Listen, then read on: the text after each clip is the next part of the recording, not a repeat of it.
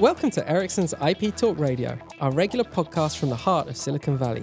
I'm your host, Matthew Smith, Director of Network Marketing, and our guest today is Håkan Eriksson, Group CTO and President of Ericsson C- Silicon Valley. Welcome, Håkan. Thank you. Thanks for joining us. Uh, Håkan, you've been here in the Valley for roughly a year now, uh, and I'm quite interested in hearing your reflections on that period. Well, I think first of all, I would say it's good to be here, and uh, the the reasons why why I came has sort of all been fulfilled. We we are part of the ecosystem here in the valley, and, and, and in different aspects. I think one is on the application side. We we have seen how how US and especially the Silicon Valley is becoming a much more dominant player on the on the application side in the whole industry, mm. with the players like, uh, of course, Apple and, and Google, Android, and so on, and and and that is of important for us as a systems vendor to be close to that, to both learn uh, what the applications look like to so that the connectivity is application aware, as I usually say, but also to make sure, if to the extent we can, to explain how the connectivity works and make the applications connectivity aware. So it mm-hmm. it works both ways.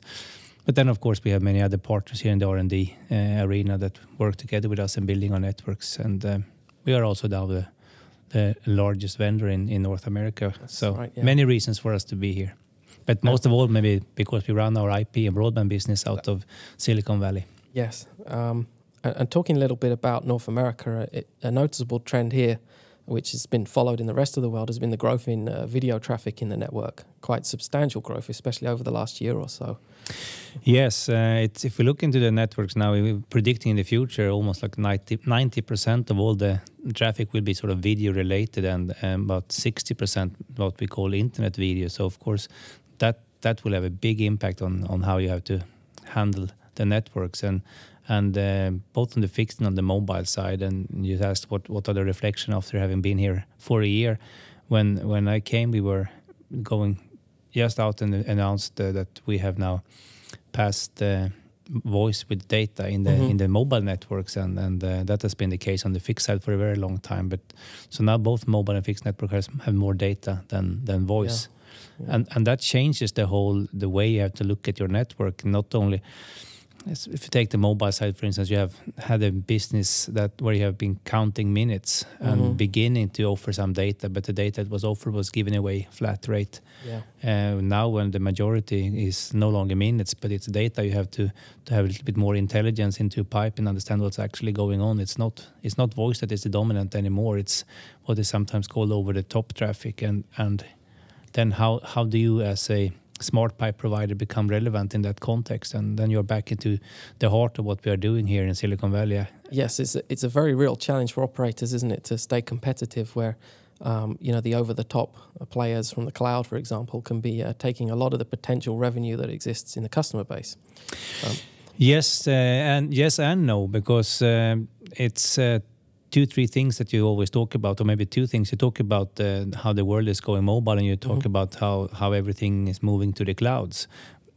But for that to work, you need connectivity between the devices and the cloud, and and uh, that is what we are doing, and especially the IP part of the connectivity, and that's what we're doing mm-hmm. here in Silicon Valley, and and also the the smartness in the pipe to do the deep packet inspection, to do the quality of service classification and uh, set priorities, guarantee latency, a lot of these things that you can have as a toolbox as a provider, a network provider to the over-the-top players if you want to to offer different services to different mm-hmm. classes and also then correspondingly charge for that and and be part of the revenue stream in a very logical way.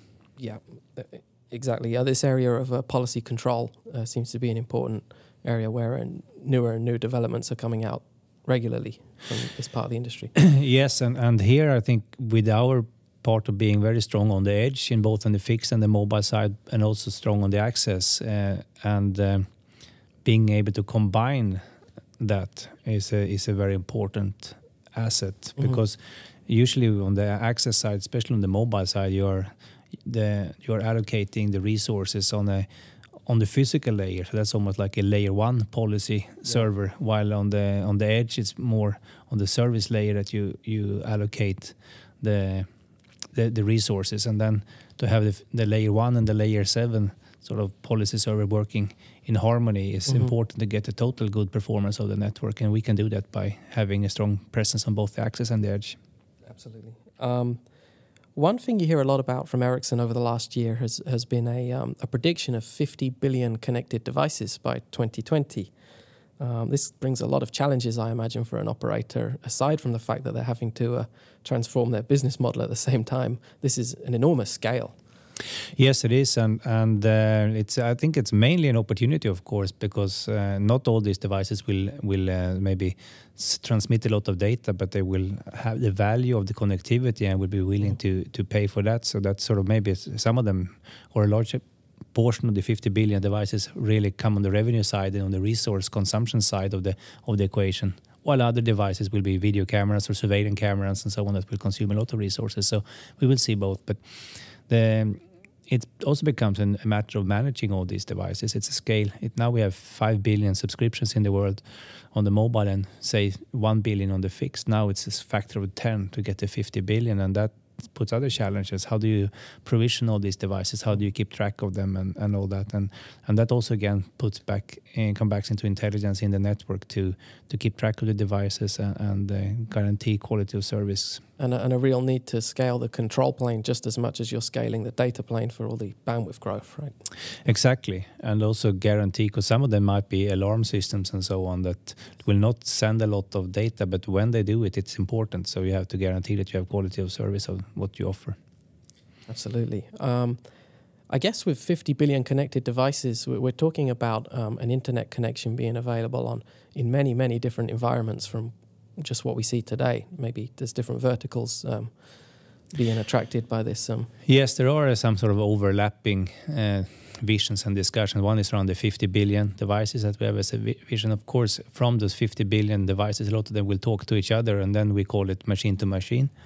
And in that context, you also talk about the verticals. And uh, the verticals have got the name verticals, but they have usually been uh, sort of vertical implementation all the way down to the technology that you have had maybe dedicated uh, applications on dedicated technology. And when this moves on to, to 50 billion devices and to benefit from the connectivity, I don't think that we will lo- have the sort of luxury or the, it will be good to run it as complete verticals all the way down because that will not create the scale.